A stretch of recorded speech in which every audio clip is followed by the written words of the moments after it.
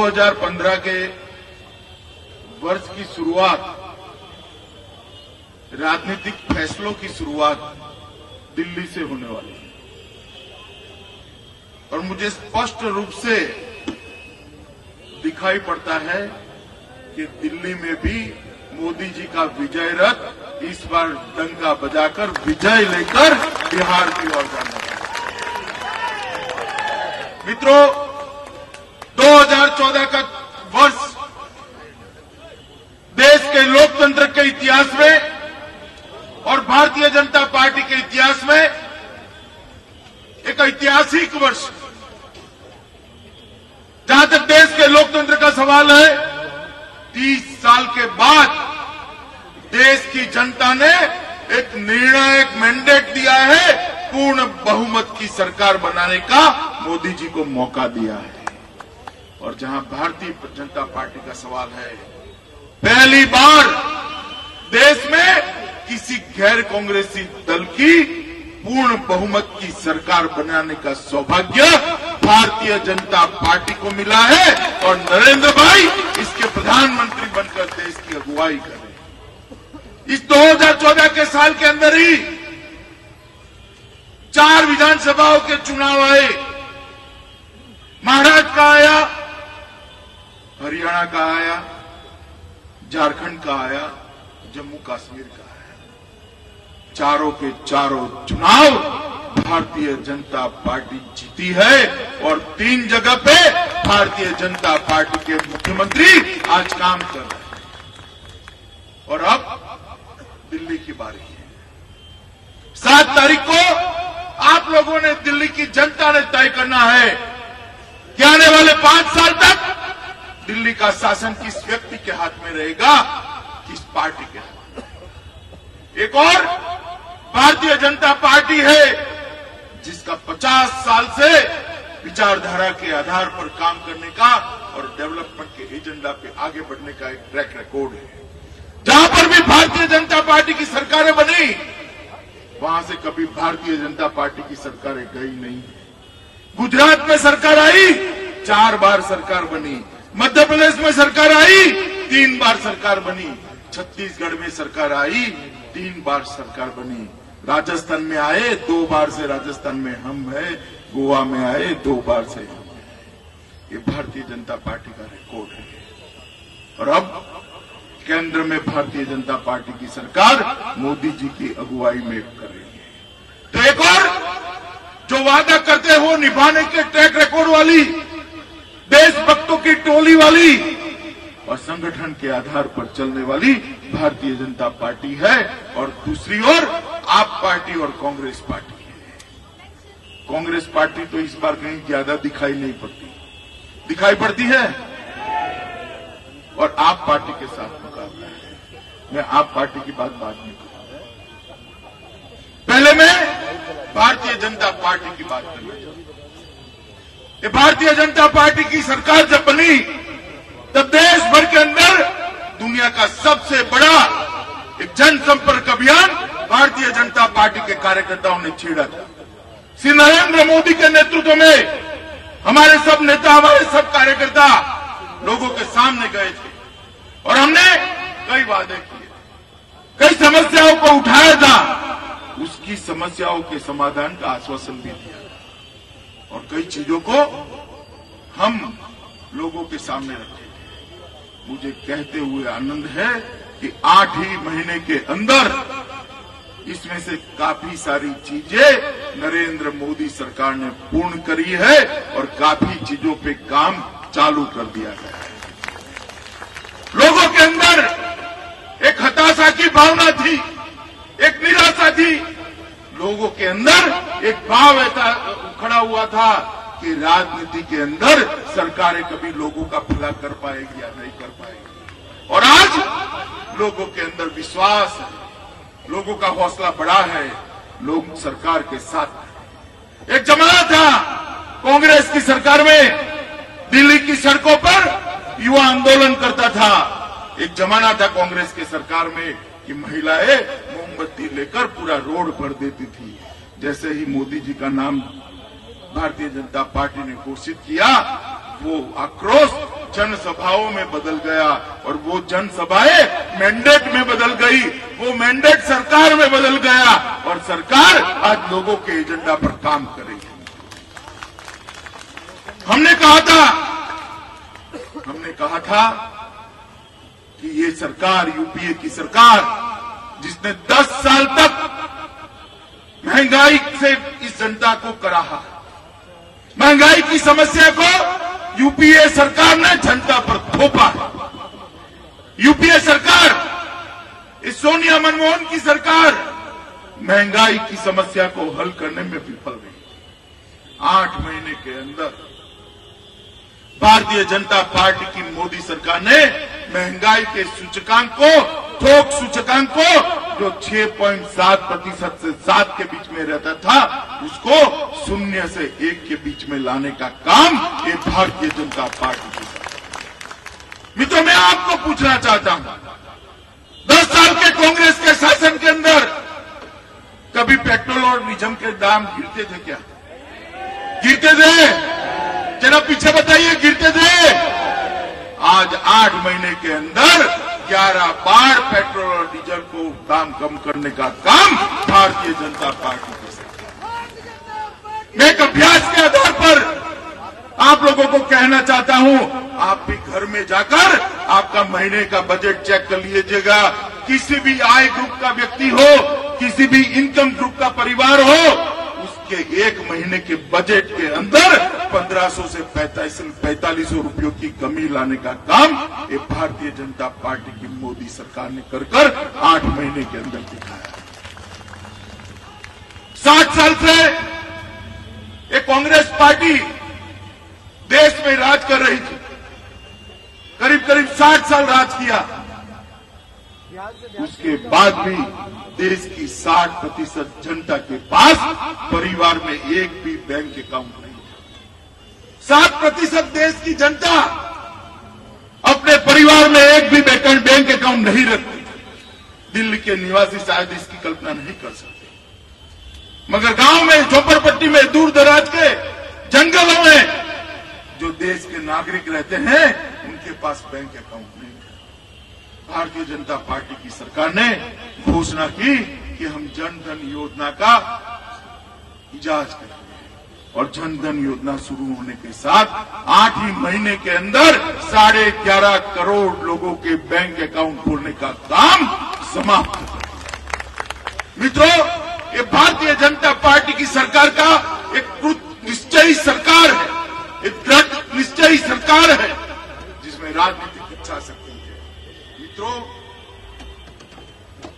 Bharatiya Janata party की सरकार ने कहा था। हम लोगों ने कहा था चुनाव के वक्त कि हम बेरोजगारी की समस्या को हल करेंगे। हम युवाओं को रोजगारी देंगे। और आज मोदी जी ने 15 अगस्त को मेक इन इंडिया की घोषणा की है और सितंबर महीने में ही मेक इन इंडिया की योजना को लॉन्च कर कर दुनिया की 3000 कंपनियों को भारत आने के लिए प्रोत्साहित हज़ारों, लाखों युवाओं को इससे रोजगारी मिलने वाली। स्किल डेवलपमेंट के माध्यम से ग्रेजुएट बेकार की जो फौज खड़ी होती थी, उसके अंदर उनको काम मिले। इसके लिए एक नया मंत्रालय और एक मंत्री देने का काम भारतीय जनता पार्टी के नेता नरेंद्र मोदी ने कहा। मित्रों, काले धन पर हमने कहा था कि भारतीय जनता पार्टी की सरकार कभी इस देश में काले धन को विदेश भेजने वाले को माफ़ नहीं कर सकती। भारतीय जनता पार्टी की सरकार बनने के साथ ही पहली कैबिनेट में पहला प्रस्ताव ये आया कि काले धन के लिए एसआईटी बनाने का काम भारतीय जनता पार्टी की मोदी सरकार मैं बताना चाहता हूँ, इस सरकार ने पहली कैबिनेट में पहला प्रस्ताव एसआईटी की रचना का किया था। और दो साल से जो सूचनाएँ आकर भारत सरकार के पास पड़ी थी। 600 से 700 से अधिक ब्लैक मनी भेजने वाले लोगों के नाम थे। वो डेढ़ ही महीने में, दो साल से कांग्रेस भेज नहीं सकी। डेढ़ ही महीने में भारतीय जनता पार्टी की सरकार ने एसआईटी को दे दिया और उस पर जाँच चल रही मित्रों, काले धन पर विश्व में जहाँ जहाँ मौका मिलता है, मोदी जी एक आम सहमति बनाने का प्रयास करते हैं। विश्व के देशों के अंदर एक मती खड़ी कर कर एक काले धन की समस्या को समाप्त करने के लिए मोदी जी ने एक अभियान छेड़ा है और उसका तुरंत परिणाम मिलने आदर्श ग्राम के माध्यम से इस सरकार ने ग्रामीण विकास के क्षेत्र के अंदर एक नई शुरुआत की। गाँव के लोगों का भी विकास हो, उनके बच्चे भी पढ़े, वहाँ भी लाइट पहुँचे। इस चीज़ के लिए ये भारतीय जनता पार्टी की सरकार कटिबद्ध है। मित्रों, रक्षा क्षेत्र के अंदर हम आरोप लगाते थे यूपीए की सरकार पर, कि सरकार का ध्यान सीमाओं पर नहीं है। सीमाओं की सुरक्षा ठीक से नहीं हो रही है। अभी अभी मैंने राहुल बाबा का एक भाषण सुना। राहुल बाबा जानते हैं ना? अभी एक भाषण सुना। वो कहते थे कि पहले भी पाकिस्तान की सीमा पर गोली चलती थी, अब भी चल रही है। मोदी जी के आने के बाद क्या फ़र्क पड़ गया? राहुल बाबा, आपको फ़र्क दिखाई नहीं पड़ेगा। आपकी आँख पर इटालियन चश्मा चढ़ा हुआ है, आपको मालूम नहीं पड़ेगा क्या फ़र्क। मैं बताता हूँ क्या फ़र्क पड़ा है। पहले जब आपका शासन था सोनिया जी, मनमोहन जी का शासन था। जब गोलीबारी की शुरुआत होती थी तो पाकिस्तान की फौज की ओर से होती थी और उसकी समाप्ति भी पाकिस्तान की फौज आज मोदी जी के शासन में भारतीय जनता पार्टी की सरकार के समय गोलीबारी की शुरुआत तो आज भी पाकिस्तान कर रहा है। मगर उसकी समाप्ति हिंदुस्तान की फौज कर रही है, मित्रों, हिंदुस्तान की फौज। ये फ़र्क पड़ा। राहुल बाबा, आपको मालूम नहीं पड़ेगा।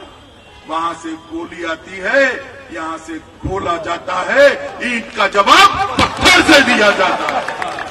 और देश के फौजी का मॉरल, हौसला आसमानों को छू रहा है। किसी की इजाज़त लेने की ज़रूरत नहीं है, सामने से गोली आती है, वो भी अपनी आत्मरक्षा में गोली चलाता है, और नुकसान वही ज़्यादा हो। मित्रों भारतीय जनता पार्टी सरकार है। दस साल के लिए सेनाओं की आपूर्ति के लिए जो चीज़ें करने योग्य थी, वो सभी भारतीय जनता पार्टी की सब सरकार ने समाप्त क्योंकि ये हमारा प्रायोरिटी एरिया है।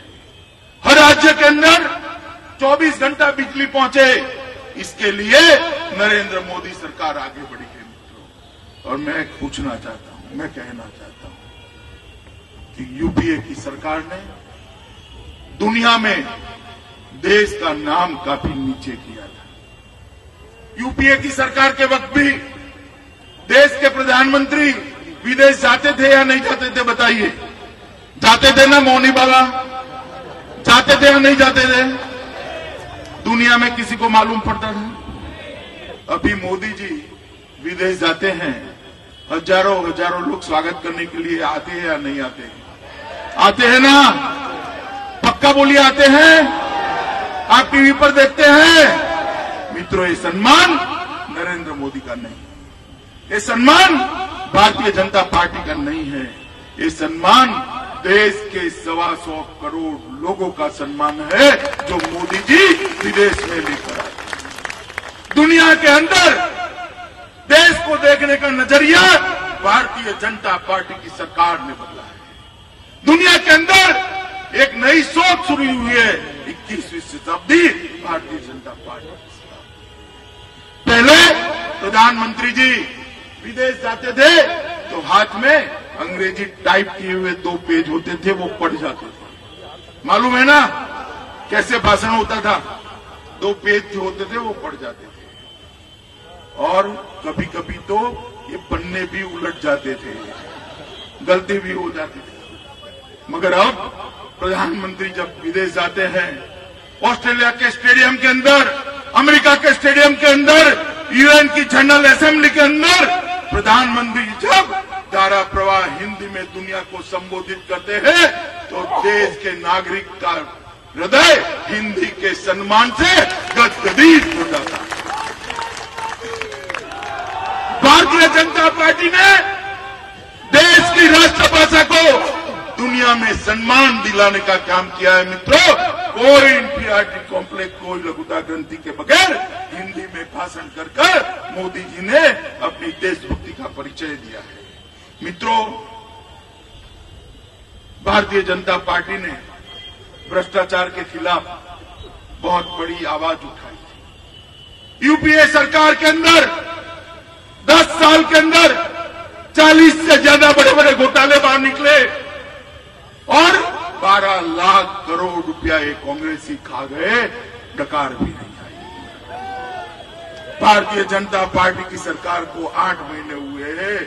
कांग्रेसी, या तो कोई भी विपक्ष बता दे, एक भी घोटाला हुआ है तो इसको लेकर बाहर आए।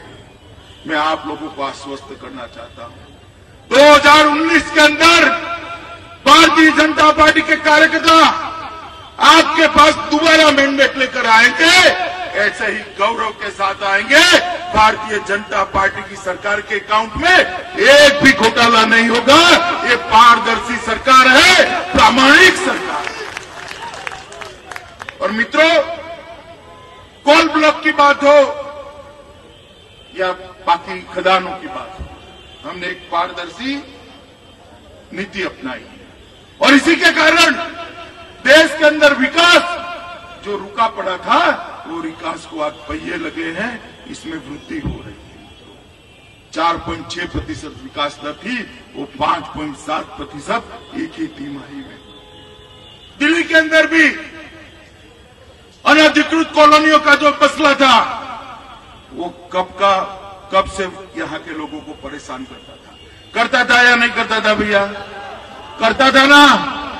आठ ही महीने में अध्यादेश लाकर भारतीय जनता पार्टी ने अनधिकृत कॉलोनियों का काम समाप्त कर दिया है, उनको अधिकार दे दिया है। और ये काम मोदी सरकार ने किया है। झुग्गी झोंपड़ियों के लिए भी हमने कहा है, मोदी जी ने ऐलान कहा है, जहाँ झुग्गी वहीं घर देंगे, पक्का मकान हर व्यक्ति को देंगे। मित्रों, हम जो कहते हैं वो करते हैं। और अभी अभी एक नई पार्टी बनी। है श्रीमान केजरीवाल जी। मैं आप लोगों को बताना चाहता हूँ कि दो दिन से भारतीय जनता पार्टी के कार्यकर्ता हर रोज पाँच सवाल पूछते हैं। पाँच सवाल। एक का भी जवाब नहीं। देना चाहिए या नहीं देना चाहिए बताइए। देना चाहिए नहीं देना चाहिए? मैं अभी कुछ बताऊँ उनके बारे में आपको। सवाल पूछू? पक्का? आप मुझे बताइए कि केजरीवाल जी, जो आप पार्टी के नेता है, जब अंदर आंदोलन में जुड़े, तब उन्होंने कहा था या नहीं कहा था कि मैं कभी चुनाव नहीं लड़ूँगा? चुनाव लड़े या नहीं लड़े? चुनाव लड़ने के वक्त उन्होंने कहा था या नहीं कहा था? कि हम कभी कांग्रेस का समर्थन नहीं लेंगे। कहा था, लिया या नहीं लिया? लेकर मुख्यमंत्री बन गए। उन्होंने कहा था या नहीं कहा था कि हमारी सरकार बनेगी। तीन ही दिन में शिला दीक्षित पर राष्ट्रमंडल खेलों के लिए एफआईआर बनाएँगे। कहा था, एफआईआर बनाई। कैसे बनाते, उनका समर्थन लेकर बैठे थे। उन्होंने कहा था कि हम मेट्रो के अंदर घूमेंगे। गाड़ी नहीं लेंगे। मेट्रो के अंदर अब दिखाई पड़ते हैं क्या? दिखाई पड़ते हैं। उन्होंने कहा था कि आप पार्टी सरकारी बंगला सरकारी गाड़ी नहीं लेंगी। सबने लिया है, नहीं लिया? केजरीवाल जी ने तो अब तक खाली नहीं किया। लिया तो लिया, अब तक खाली नहीं किया। उन्होंने कहा था कि अनधिकृत कॉलोनियों को व्यवस्था देंगे। कुछ किया? इन्होंने कहा था चुपकी झोपड़ियों की हम समस्या हल करेंगे, कुछ किया? उन्होंने कहा था कि कॉन्ट्रैक्ट लेबर को हम परमानेंट करेंगे। किया? उन्होंने कहा था कि हर सप्ताह लोक संपर्क कर कर लोक दरबार भरेंगे। एक बार किया, भाग कर छत पर चढ़ गए, बाद में कभी नहीं किया। किया?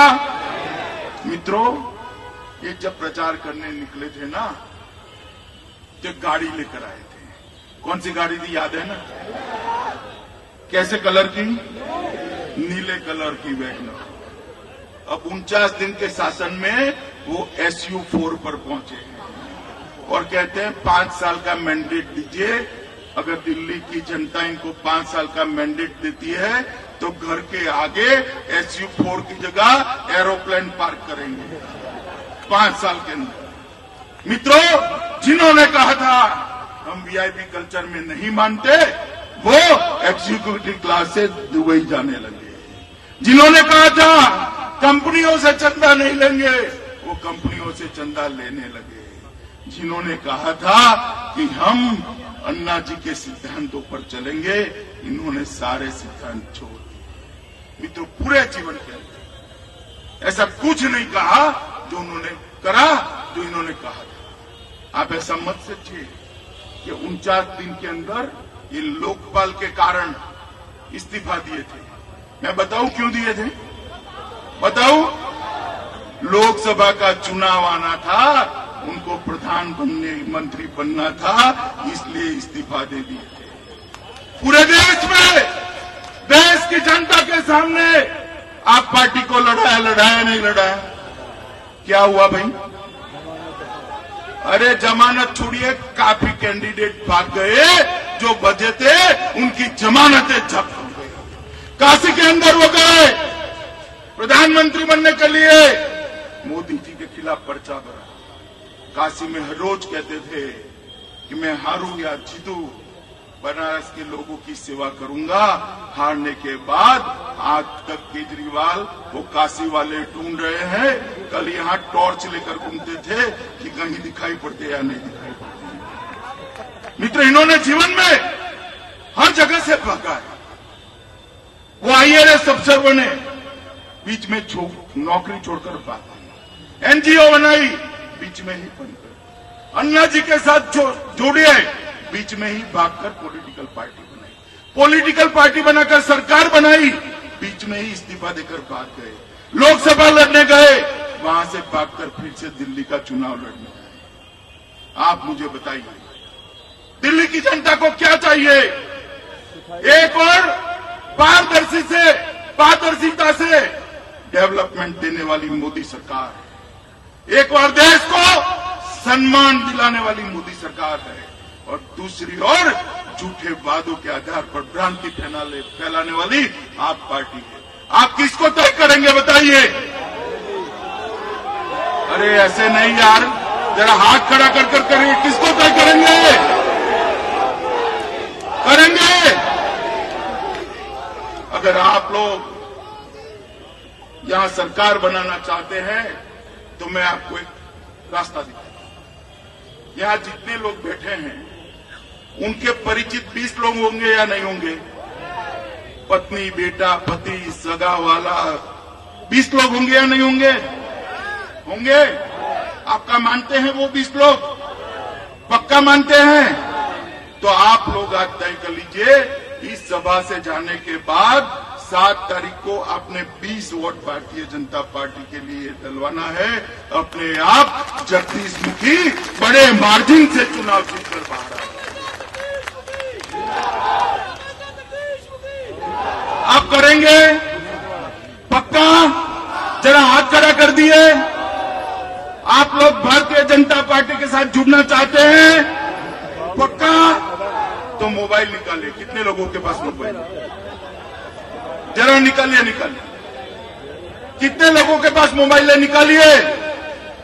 मैं एक नंबर बोलता हूँ, आप डायल करिए। आप भारतीय जनता पार्टी के सदस्य बन जाएँगे। बनना है?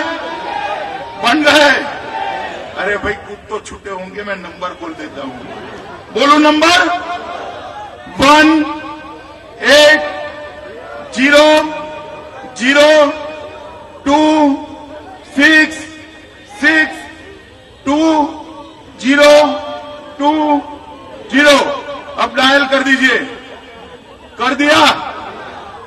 एक एसएमएस आएगा आप भारतीय जनता पार्टी के सदस्य बन गए। अब आप मुझे बताइए, आप भारतीय जनता पार्टी के सदस्य बने हैं तो आपके वोट पर मेरा अधिकार है या नहीं है भैया? पक्का है? आपके दोस्तों के वोट पर अधिकार है? आपके परिवार के वोट पर अधिकार है? तो मित्रों, सात तारीख को सुबह दस बजे के पहले भारतीय जनता पार्टी का हर समर्थक देश के अंदर परिवर्तन का संदेश देने के लिए, देश की विकास यात्रा के अंदर दिल्ली को जोड़ने के लिए, मोदी जी के हाथ मज़बूत करने के लिए और दुनिया में देश का सम्मान बढ़ाने के लिए कमल के निशान पर बटन दबाए और भारतीय जनता पार्टी को विजयी बनाकर मोदी जी के हाथ मज़बूत करिए, यही अपील करने आया हूँ। आप लोग मेरे साथ सहमत है तो दोनों हाथ खड़ा कर कर बोलिए। भारत माता की भारत माता की भारत माता की वंदे मातरम। करोड़ों रुपए हिंदुस्तान के बाहर पड़े हुए हैं। उसको मैं उठा के यहाँ वापस लाऊँगा। पंद्रह लाख रुपए आपको मिले। आपको नहीं मिले। मगर मोदी जी ने दस लाख रुपए का सूट पहन रखा।